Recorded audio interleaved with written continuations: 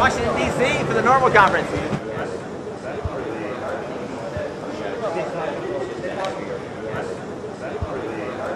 So all the fuel comes from the hemp plant?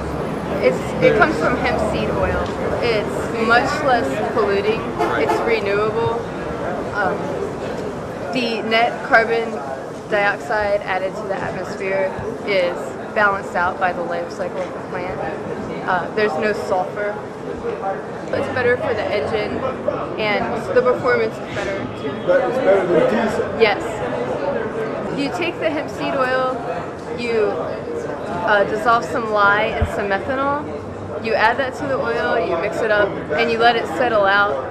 That uh, breaks the fats in the oil so that it's more viscous. Glycerin settles to the bottom, and the biodiesel's on top, and that's what you burn in your engine. It's uh, non-toxic. You can drink it.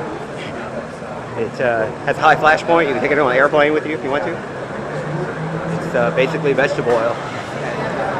Process the fuel yourself then once you buy it raw?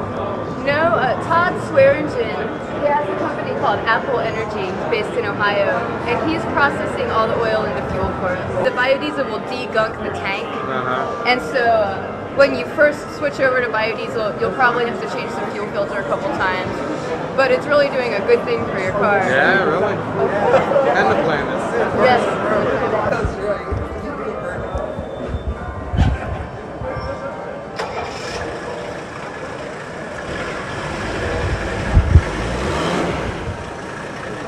I understand you have an activist network that's going to be at the points where the fuel is going to be and have press conferences and all that. Yeah. Right, that's right. And a, a lot of people here are part of that network, and the project wouldn't be a success without them. We've had so much help already. It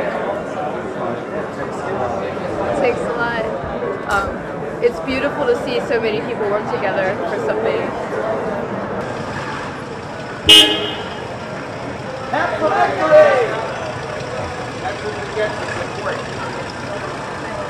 arguing about seed and oil.